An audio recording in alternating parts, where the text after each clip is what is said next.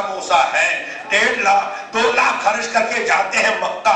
मालूम नहीं कि वहाँ बोसा दे भी पाएँगे कि नहीं।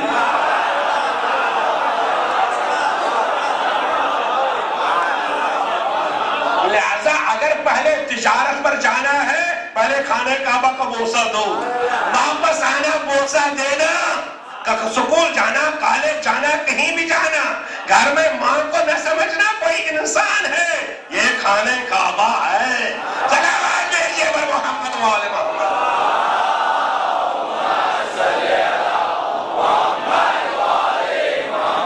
चलिए, आज मैंने आपको थका ही दिया तो और ही थका दूँगा।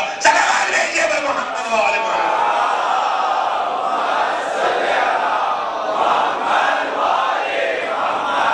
देखिए हमारे पैगंबर का एक आशक आप जानते हैं नाम उनका।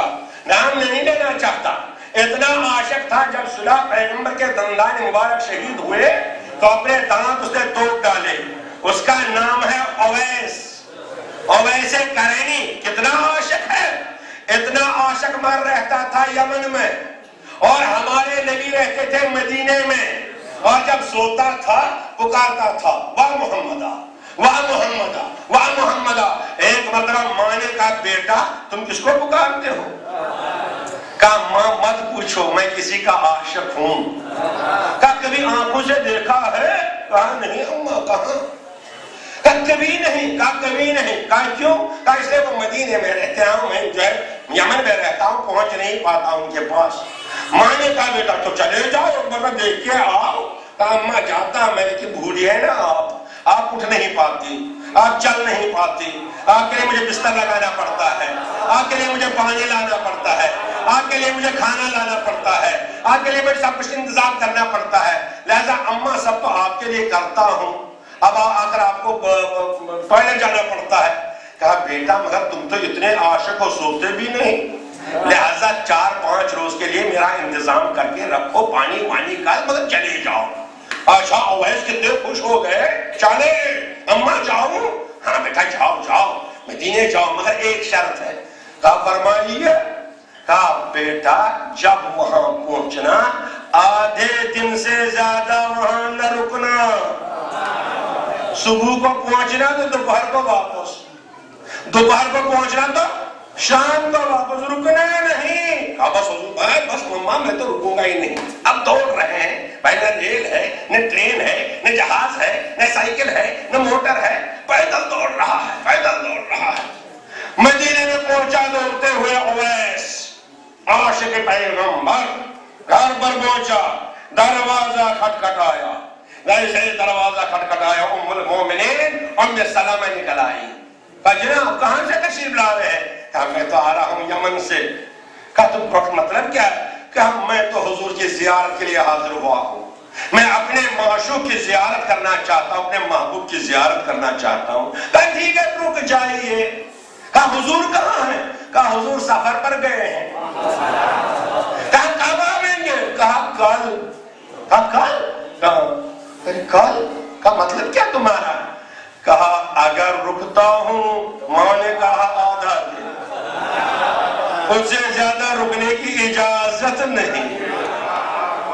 अब अगर उस पर अमल करता हूँ, चला जाता हूँ इतनी दूर से आया हूँ तो नबी की जियारत नहीं। है ना भाई? कितना इम्तिहान है। लिहाजा परेशान। आप क्या करें? रुके। हुजूर की जियारत, माँ की मुखालफत।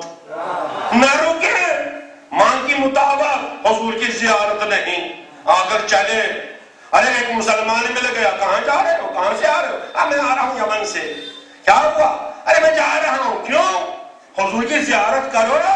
तुम तो इतने दूर से आया बगैर जियारत के जा रहे हो काले मैंने माँ ने मुझे मुझे माँ ने इजाज़त नहीं दी है। रुकने की इजाज़त नहीं दी है। दादा जा रहा हूँ। अरे ये कैसा मुसलमान माफ़ कीजिए वही नहीं अगर मैं होता मैंने दिया होता कुफुर का। इसलिए कि कुफुर की यह फतवा बहुत सस्ते हैं ना।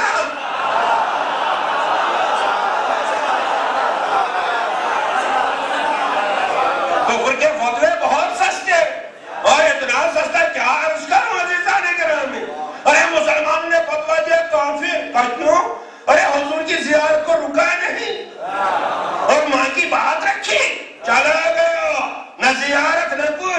ग्रामी दूसरे दिन पैगंबर तशरीफ़ लाए। जैसे हजूर तशरीफ़ लाए। आप हजूर गली गली घूम रहे हैं। अरे मुसलमान ने पूछा, हजूर, आप क्यों परेशान? कहा, इन्नी अशुभ मुझे अपने भाई यमन के खुशबू आ रही है। मुझे अपने भाई की खुशबू आ रही है। हजूर, वही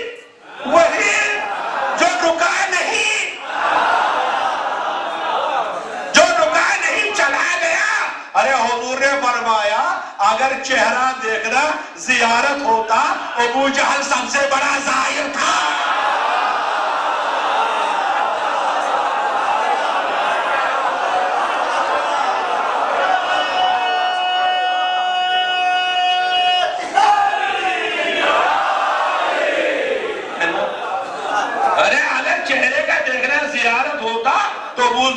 अबू जहल भी देख रहा था।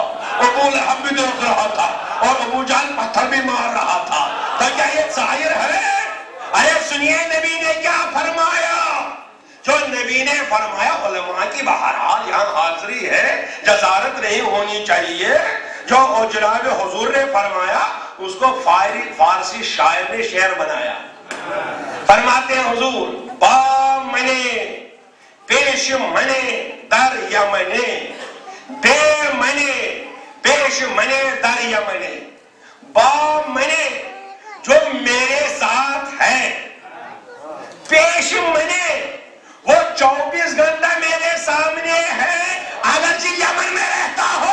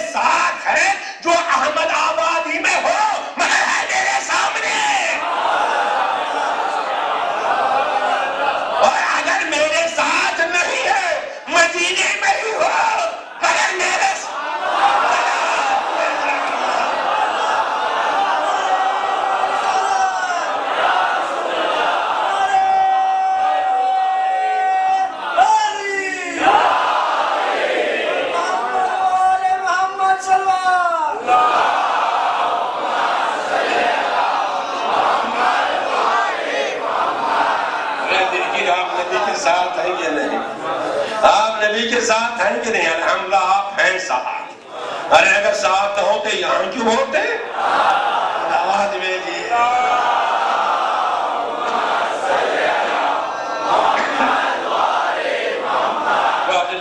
जी। एकदम माँ का मर्तबा है, लेकिन बाप का भी काम नहीं है।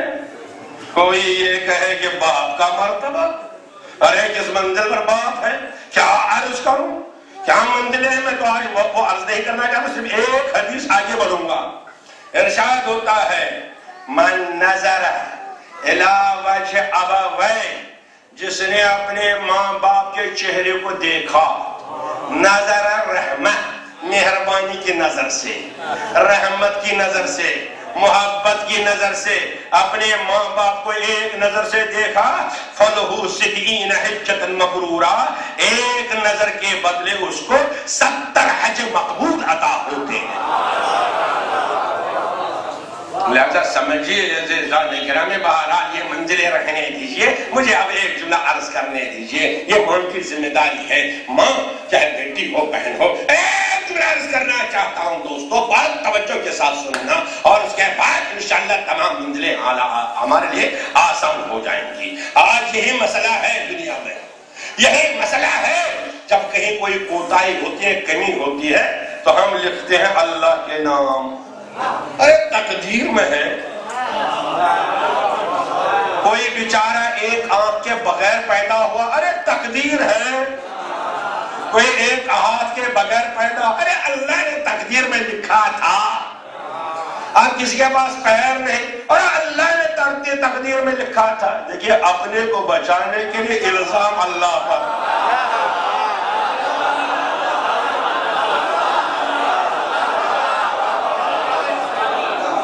ना?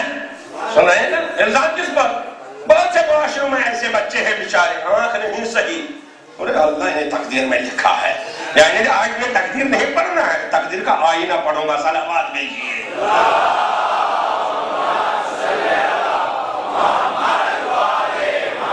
तकदीर के माने क्या है? तकदीर के माने क्या है? वहाँ लिखा है, जैद अंधा पैदा होगा। यही तकदीर है।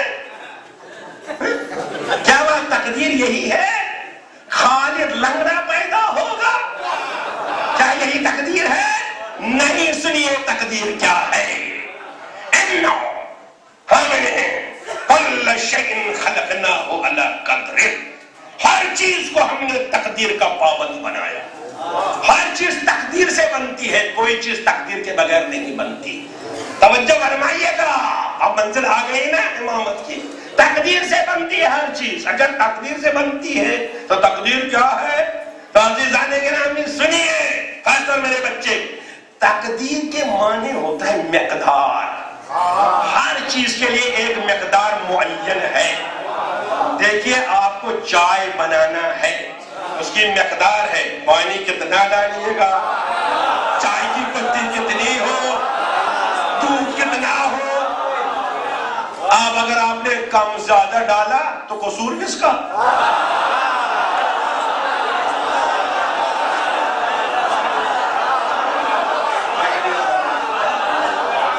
तकदीर में बात आ गई तो सुनिए तकदीर अपने बच्चों के लिए मिसाल आगे बढ़ूँगा। सुनिए अब सबको तो रोटी की ज़रूरत पड़ती ही है। रोटी तो हम खाते ही हैं। चलो जाओ, दुकान पर जाओ, रोटी ले आओ। नान वाली रोटी बनाता है। बनाता है कि नहीं? बड़ी मेहनत से आटा गूंदता है। पानी डालता है। रोटी तैयार। और तनूर में लगा दिया। तवज्जो बताइएगा अगर तनूर में रोटी लगा दी, खुद गफलत से बातें करने लगा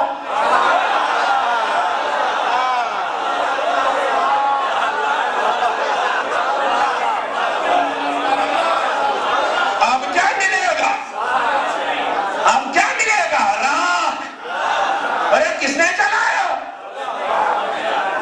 किसने चलाया गफलत की इसलिए किस रोटी के लिए एक मकदार में गर्मी चाहिए थी आग चाहिए थी मगर ये मकदार में इतनी गर्मी तब रोटी बने तो गफलत करके उधर बैठ गए, बातें करने लगे। इधर उधर तो जल ही जाएगी। नहीं ना? अब लगा दिया, रोटी लगा दी, और गर्मी है ही नहीं। तो जैसा आटा लगाया, वैसे ही निकल ना? तो अगर नानवाई की रोटी चाहती है, एक मुनासिब मकदार में गर्मी हो, ताकि न चले न कच्चा रहे, वैसे जब इंसान की रोटी